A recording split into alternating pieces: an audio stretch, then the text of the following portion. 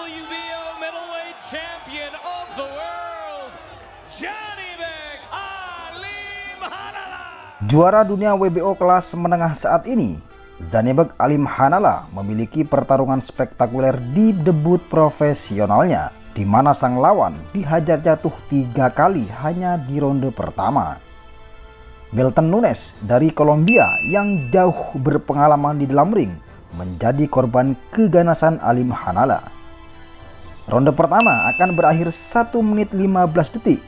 Nunes tertunduk tetapi mampu berdiri. Pukulan hook kanan dan uppercut Alim Hanala membuat Nunes jatuh tetapi dia tak putus asa dan masih mampu bangkit. Dia berusaha membalas serangan namun pukulan Alim Hanala lebih cepat masuk sehingga Nunes jatuh dan wasit langsung menghentikan pertarungan dengan technical knockout.